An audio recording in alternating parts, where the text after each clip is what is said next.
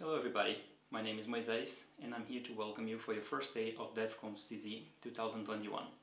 Today we will start in the main room with a discussion about open operations for clouds and services. And then we will split into six separate session rooms, a workshop room and a meetup room. Since we're meeting online, we organized some fun activities in between the breaks. So for today, get ready! We have a yoga session together with Yoga House Brno. And then at the end of the day, I'll play some music for you using some Python.